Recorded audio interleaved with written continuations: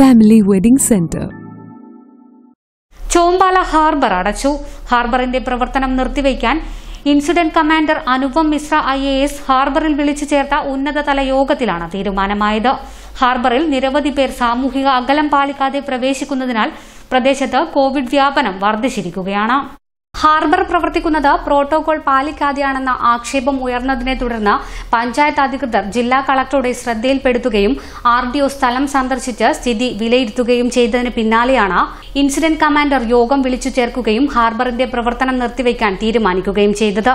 യോഗത്തിൽ പഞ്ചായത്ത് പ്രസിഡന്റ് ആയിഷ ഉമ്മർ മെമ്പർമാരായ Leela K P K Preetha C I Sivan Chodath tahsildar N Mohanan panchayat secretary T Shahul Hameed S I Babu coastal police fisheries deputy director Dilna O S union പ്രതിനിധികൾ harbour വികസന സമിതി അംഗങ്ങൾ എന്നിവർ പങ്കെടുത്തു Malabar golden diamonds celebrate beauty of life.